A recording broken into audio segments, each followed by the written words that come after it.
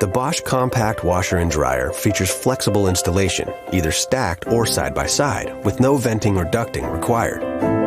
The 500 series pair is also recognized as Energy Star most efficient and offers fast wash and dry cycles. The large drum capacity can accommodate large loads in a single cycle. There's even a pull-out tray that adds extra space for folding laundry and then neatly tucks away when not in use.